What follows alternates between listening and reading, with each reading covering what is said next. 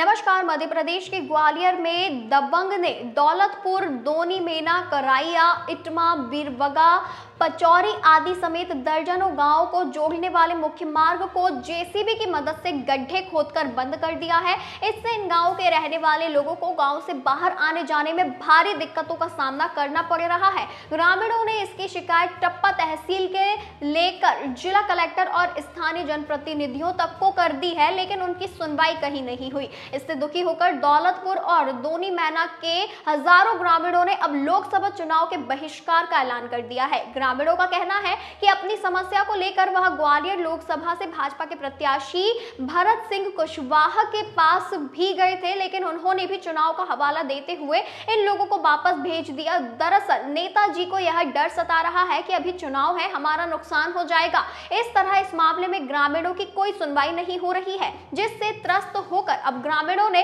लोकसभा चुनाव के बहिष्कार को लेकर भी ऐलान कर दिया है।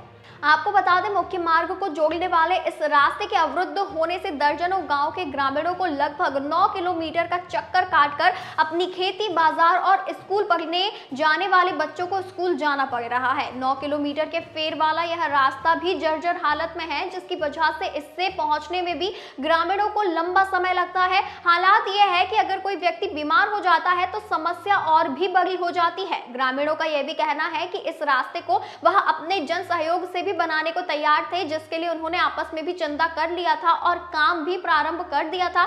लेकिन दबंग मलकीत सिंह और उसके सहयोगियों ने आकर लोगों को डराया, धमकाया और गोली मारने की धमकी देते हुए काम को बंद करवा दिया, जिसकी शिकायत सभी ग्रामीणों ने एकत्रित होकर पंचनामा बनाकर तहसीलदार से लेकर कलेक्टर तक से की, लेकिन उनके रास्ते को किसी ने भी बनवाने में मदद नहीं की।